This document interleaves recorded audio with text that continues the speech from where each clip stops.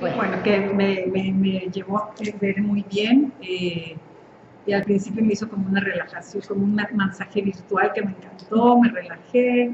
Este, y después eh, me dijo que me fue un momento feliz de mi niñez y inmediatamente me fui a Acapulco, que es donde viví mi niñez. Eh, estábamos en la playa con todos, este, íbamos muchos, mi papá tiene siete hermanos, entonces éramos muchísimos primos y el ambiente era siempre de mucha alegría. Mis dos papás ya fallecieron, mi papá falleció el año pasado y mi mamá hace muchos años, y entonces este, me llevó muy bien ver porque de repente me decía quién es, y entonces yo veía solo a mis primos juntos y jugando, no, estoy jugando, como cuántos años tienes, cinco, y qué haces, no, estoy feliz jugando con todo el mundo, este, en la arena, y me dice, ¿quién más está? Y en eso volteo como a la pal donde estaban las palapas en Acapulco, yo vi que sacó una palapa y después el mar, y veía a mis dos papás, pero jóvenes, como de mi edad. sí, o sea, los, los veía como jóvenes sentados, los dos, a mi papá lo veía perfecto con su traje de baño de short que se usaban antes, de leopardo. y sí tenía uno, ¿eh? sí tenía unas fotos. Y a mi mamá la veía con su vestido sentada junto a una hermana, y este y los veía muy contentos y Vero me dijo, ve abrázarlos, o sea, como que no se me había ocurrido ir a correr a abrazarlos. Entonces, muy lindo, llegué, los abracé, me recibieron. Este, casualmente, mi mamá y mi papá eran mucho más apapachador que mi mamá. Entonces veía como mi papá me besaba como cuando era chiquita. O sea, exactamente esos besos de mi papá son los que toda la vida, yo siempre le digo, esos besos tuyos, papi, me hicieron sentir tan pertenecida, ah, hasta mis 45 años que tengo, los recuerdo. Esos besos de que me picaba así, y decía, quítate, me estás picando. Bueno, me encantaban. Y como mi mamá iba y la a ver era un poquito más, pero igual la, la veía y la besaba toda la cara y le decía que la quería, que gracias por ser mi mamá, y súper lindo, y obviamente me abrazaba, y como que fue un momento este, muy lindo, muy vivido de, de, de niña con ellos. Y este y ya, Después este, estuve ahí con ellos como niña, abrazándoles encima de ellos. Y después me regresé y veía a mi hermana triste, a la que sigue, y muy bien lo hizo ver porque me dijo, no, no, no, tú recuerdas lo bonito. Y yo decía, ah, es que sí, y la dejaba ahí.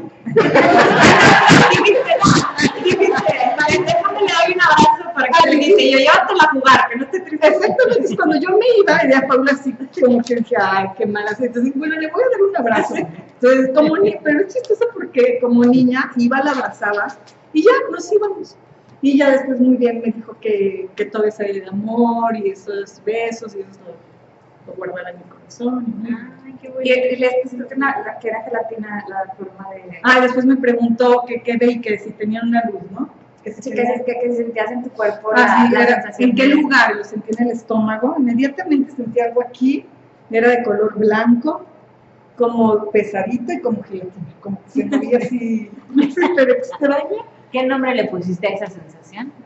Este, bueno, no, en ese alegría, sí, alegría, amor, pertenencia, seguridad, seguridad, sentirte completa, ah, sentirme completa. Muy, buen trabajo, qué trabajo, bravo. ¿Quién me ayuda a aportar? ¿Qué hubieran hecho si hubiéramos intervenido, si hubiéramos, si estuviéramos en el tema de vidas pasadas, de, de um, ya haciendo la, la, terapia ya, o sea, completa. ¿Qué hubiéramos hecho cuando están sus papás, los ven más jóvenes y va y los abraza? ¿Qué hubiéramos hecho ahí? ¿Qué sigue? Eh, me fui un poquito más para allá. No tanto. Este, ¿Qué se hubiera hecho eh, con respecto a los papás? Bueno, lo, lo de siempre, ¿no? Lo de atesorar eh, lo que ella estaba sintiendo en el corazón y conservarlo de aquí en adelante. A ver, este, Betty, ¿qué hubiéramos hecho? ¿Había algún mensaje para su hijo en este momento? Porque sus dos papás están fallecidos y los de jóvenes. Los papás acaban de venir a abrazarla de verdad Sí, sí, sí, sentía que mi papá me decía, aquí estamos, aquí estamos. Pues por supuesto que se fue. Ay, qué emoción, ¿no? Sí, como que claro. ¿Sí se dan cuenta? Dicen algunos autores que en el, en el, allá en la luz, como se llame, allá, son jóvenes, que todos son jóvenes. Entonces, lo que yo hubiera hecho es, mira qué bonito, ¿qué te quiere decir tu papá? Escucha lo que más te dice. Y entonces le platica y esto y lo otro y bla, bla, bla, y qué más.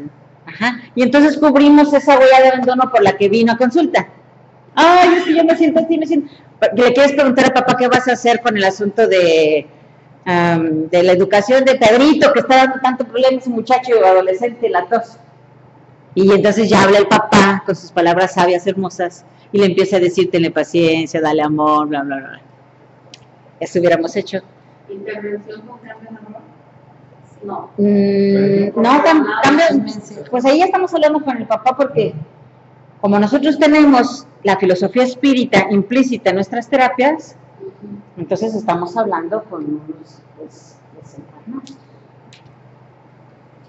No, es que solo que hubo cosas que percibí en su recuerdo que como que me hubieran gustado explorar, pero no sé si mencionarlas porque es irnos con los padres, ¿no? Pero eh, ahí es donde se tiene que intervenir o no. O sea, si, si, el si es poco de terapia y tú lo Con- y notas cuando, en el recuerdo, es- exacto, ahorita nada más lo que nos interesaba era hacer una inducción ajá, para que la persona llegara a ese momento agradable y se regresara con algo bonito. Eso era lo único, el único interés. Por supuesto que cuando yo hice la inducción contigo yo detecté cosas, pero inmediatamente me fui por otro lado, no las quise tocar y fue adrede. Y yo les hacía señas a ellos de que lo voy a cortar y nos vamos a otro lado, porque no estábamos haciendo una intervención. No me interesa que el paciente contacte con dolor, contacte con huellas de abandono, contacte con tristezas, porque en la inducción, en este primer ejercicio, lo que me interesa es que se vaya a un momento agradable donde se sienta bien feliz. Nada más. ¿De acuerdo? Pero por supuesto que hay mucho que explorar, claro. O sea, pero si viene en el foco de terapia, si lo trabajas y si no, no. O sea, por ejemplo, supongamos, supongamos que sí iba a una intervención y ella vino por algo Y no tiene nada que ver con lo que yo estoy detectando en, el... Lo tocas, Sí, lo lo tocas. sí. Pero tengan cuidado, tengan mucho cuidado. A veces ya es chismecito de nosotros. tengan cuidado. ¿Y por qué este? ¿Y por qué el otro? Y entonces, no, no, espérame.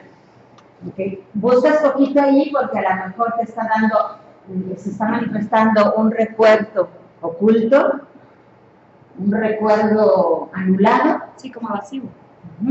Sí. O simplemente tú estás como curiosa, como que quieres saber más, y quieres saber más, y quieres saber más, y quieres saber más. ¡Ey, recordemos! Te pagó por algo, tu motivo de terapia de consulta es algo.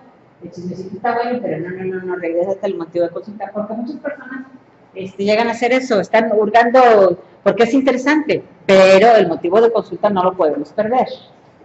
Es su tiempo, es su dinero, es su esfuerzo, son sus emociones, está bien, pero siempre enfocados al motivo de consulta. En estas terapias siempre tenemos un motivo de consulta, siempre. En una ocasión estaba yo trabajando con una persona que seguramente ustedes pueden ver el video allá en internet eh, de un incesto.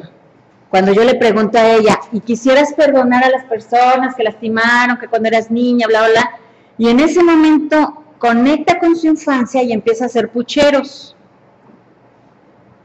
Y entonces ya empiezo a hurgarle, porque la pregunta fue, ¿perdonas a las personas que lastimaron, que dijeron algo cuando tú en tu infancia, bla, bla? Y entonces ahí es donde se destapa un, un recuerdo encriptado. Y sale el asunto de el papá abusaba de ella sexualmente. Ella no lo sabía, entre comillas, no lo sabía, ahí lo supo. Y entonces tuvimos que trabajar ese asunto y lo, tuvimos que sanar, reparar. Entonces, el motivo de consulta, pero si me está dando más información, por supuesto que voy a revisar, voy a tomar, ok, como que eso no está teniendo mucho que ver, entonces sigo encuadrando, sigo buscando hasta que se logre el motivo por el que fue. ¿Y eso fue en esa vida? O sea, no es que se ha ido otra vida. No, no, no, no O sea, fue en esa se- no vida. se acordaba que su papá había no se acordaba, entre comillas, no se acordaba. Esa información viene en el disco que les doy en el curso básico. Dura como cinco minutos y también lo subí a internet para que eh, conocieran cómo la mente guarda, encripta las cosas, ya no las asoma. Porque es muy doloroso que tú aceptes que tu papá hacía eso. Se supone que te cuidaba, se supone que te amaba. ¿Cómo yo voy a aceptar que mi papá me estuvo? Me explico. Por eso es mejor olvidarlo, como esconderlo, no existe. Y en ese tipo de terapias, bueno, gracias a la hipnosis nosotros encontramos eventos olvidados, entre comillas. ¿Quién más nos quiere compartir?